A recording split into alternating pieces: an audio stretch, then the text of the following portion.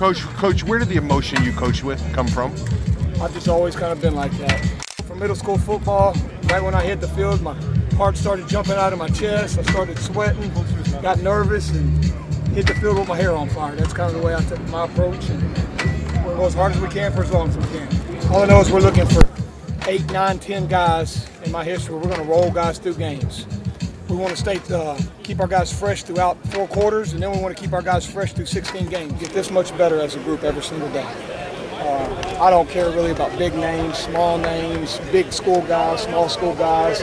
We're here to work and to get better, and hard work's going to equal success.